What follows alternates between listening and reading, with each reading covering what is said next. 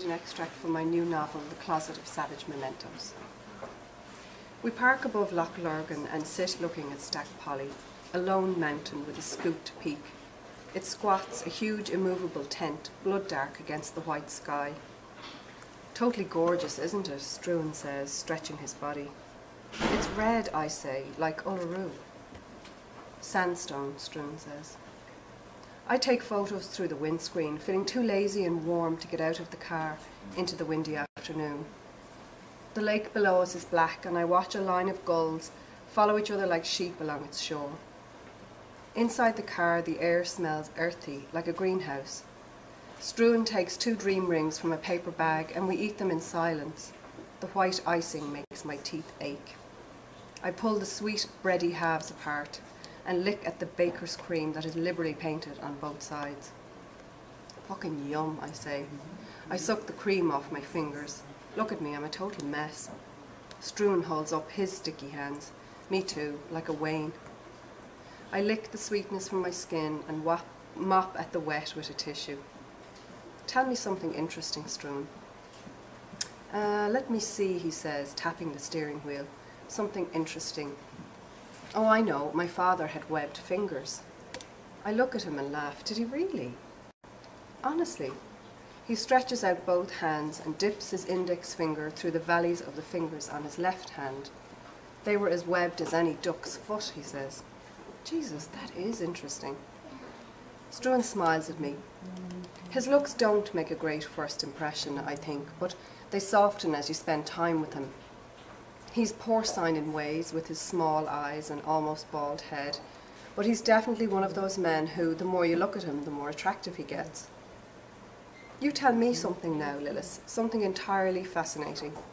He lights up a cigarette and rolls down the window crack. Oh God, pressure.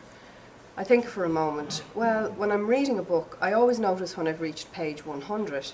That page number dances up to my eyes, but none of the others do.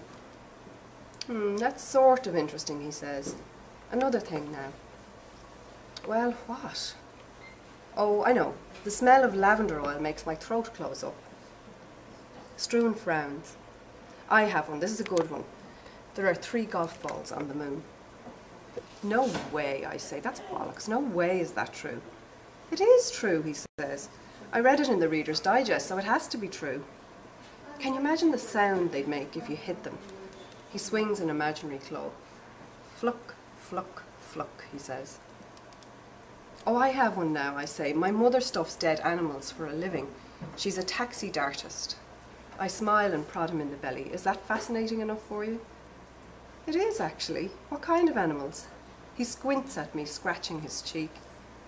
She'll use anything, really. People know about her, so she's always been offered roadkill and dead pets though she usually refuses pussycats and Jack Russells because of what she does to them.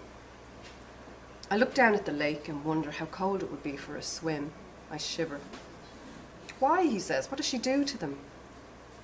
Well, she skins and mounts them and dresses them in costumes. She turns them into works of art. Ultimately, she sells them. It sounds a bit obscene when I explain it like that. I look at Struan. She was presented with a monkey recently. She gave it a pipe, a penny, and high heels. People want to see their pets as they were in real life, not morphed into something weird, so she usually says no to pets and general taxidermy work. Verity prefers oddities. I love it, he says. When do I get to meet this artistic genius? Would she sell me a piece for the Strathcorrys Gallery? I don't know. She might come over to Scotland sometime to visit me. She's often busy with exhibitions and things. I wave my hand absently. Maybe she'd show in the gallery at the inn. Her work sounds great. She sounds great. Oh, my mother has her moments, believe me. So much for me and my web-handed dad. He was a bus driver who rarely spoke. I think he thought speech was a kind of affectation. What does your father do? He's a university lecturer in marine science. My parents are separated. My mum was a tea lady, Struan says. The glamour.